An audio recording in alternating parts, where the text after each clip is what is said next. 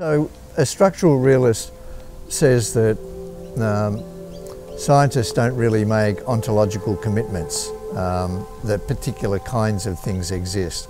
A structural realist says that science is about finding out about the mathematical relations between posited entities, whereas the ontological realist um, says that uh, there are particular kinds of things with particular kinds of properties that exist in the world.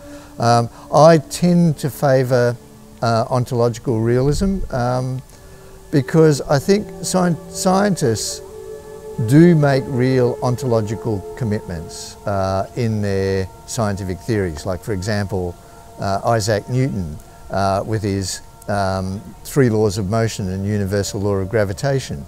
He postulated that there were these hard, impregnable uh, atomic objects that clumped together uh, and uh, they obeyed particular laws that the structural realists uh, uh, like. Um, but Newton said there really are these hard, little, tiny, indestructible balls, uh, and they exist in absolute space and absolute time. That's with an absolute, a capital A and a capital S and a capital A and a capital T. So there were strong ontological commitments there. And then, of course, when Newtonian mechanics was overthrown by um, Einsteinian mechanics, um, out went the absolute space and absolute time. So there was a shift in the ontological commitment. So even though the ontological commitments change with a new theory, we can't avoid the fact historically that the scientific theories do make ontological commitments. Now the structural realists say, oh okay then the ontological commitments change uh, with scientific revolutions, so let's not commit to uh, these entities posited by uh, the scientists. They're not really positing entities, they're really just positing the, we should really just take note of the mathematical relations between them.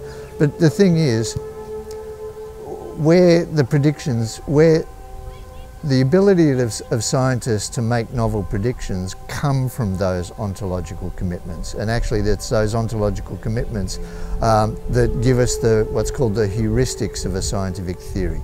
The power of a scientific theory to look in new areas because analogies are drawn between the um, entities that are posited in the theory with other systems that they know about. So the ontological commitments are a fundamental part of a, a, scientific theory and just can't be done away with, I think. So that's why I tend to favour ontological realism over structural realism.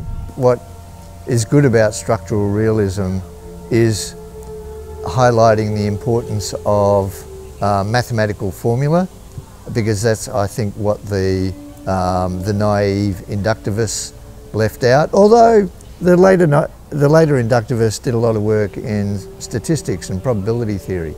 Um, but the, it's the building of the relationships, the, the, the, real relationships between the entities posited in the model um, that, that gives the power to a scientific theory.